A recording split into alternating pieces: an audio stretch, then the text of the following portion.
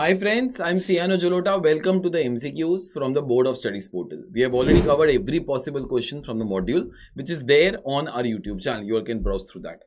Secondly, in case you wish to be enrolling for a complete course, link is there in the description. You all uh, can enroll for it. the moment you will be enrolling, lectures will start. You can watch the lectures on your laptop or app or the Android app or iOS app, wherever you all want. One day you all can watch that on the laptop, second day on the Android app, wherever. And uh, you still have some doubts, you can write to us on our Telegram ID at the rate agent ajnext. One good news for CA Inter, all our lectures of the previous batches will be coming on YouTube in two languages, English, Hindi mix and English, free of cost for everybody. These lectures will be there uh, accompanied with the homework section, with the test, with the summaries of each question and with the ranking of each and every question. Uh, these lectures are enough for anybody to be getting 90 plus in costing. So many students take advantage of that. Now a bonus, it will be all free for everybody. So do spread this, especially if you have friends or relatives who are going to be there in CA Inter.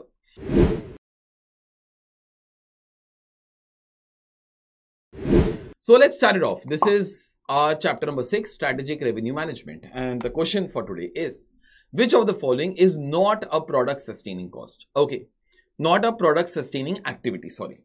Now, what do you mean by product sustaining activity? I would like to be answering that thing first before I try to come over to like, you know, whatever are the four options and the answer. So which one of them is not a product sustaining activity? Now, what do you mean by product sustaining activity? These are activities which are performed to support production or sale of a specific type of product. These costs are not dependent upon the volume of production. Now, to give you a small example, suppose whenever you have to produce a product, try to be thinking what activities are required before that. Sir, I have to do research and development for that product. I have to make the designs of that product. Okay.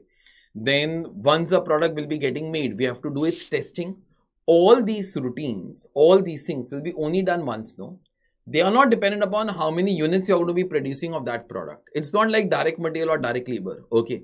These are the costs that are incurred. These are the activities that are done once only as such. Okay. So therefore the production can start to take place. Okay. These are nothing but product sustaining activities. Okay. It, it could be say the designing cost. It could be say like, you know, that a product has to be passing through which processes all those things we will lay down once only for a certain product okay that it has to be passing to process 1 process 2 process 3 then again to process 2 and then it will become a finished product. Okay now this kind of a routine has to be laid down once only. These are product sustaining activities. Okay these are only done once. I'm not saying product will not be passing through all these processes each and every time. No no no.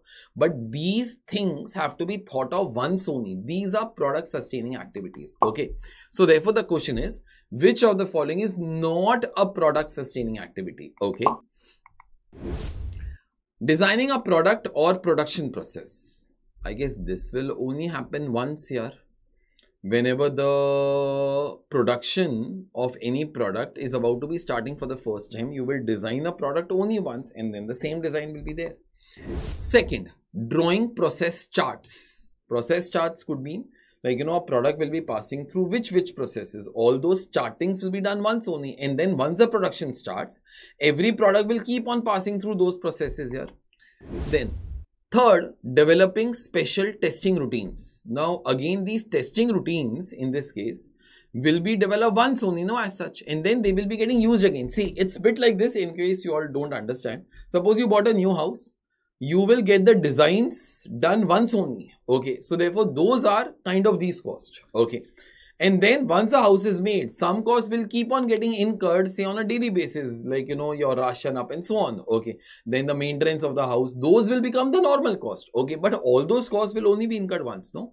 Fourth one direct material consumption for each product. Beta i think so direct material consumption is not a product sustaining activity. This will be incurred each time the product is made yeah okay so if you produce 10 units you're going to be incurring this cost 10 times. But above three costs will only get incurred once okay over the entire lifetime of the product i think. So therefore those are product sustaining activities. So which one of them is not answer should be four i think. Let me look at the explanation of the institute and then come back for the final answer the correct answer is direct material consumption for each product is a unit level activity. This cost is dependent upon the volume. Product sustaining activities are activities performed to support production or sale of a specific type of product. These costs are not dependent upon the volume of production. Examples would include designing a product, drawing the process charts, developing the special testing routines. In fact, those were nothing but the first three answers here as such. So therefore, correct answer should be the fourth one. That is the correct answer. My job for today is altogether done. Request you all to watch all these lectures, the QR code of which is over here of the module. Okay, these are all the MCQs from the module which are put on a single uh, playlist. Ensure that you all watch them. I'll see you all next time in another MCQ. Till then, take care guys. Bye.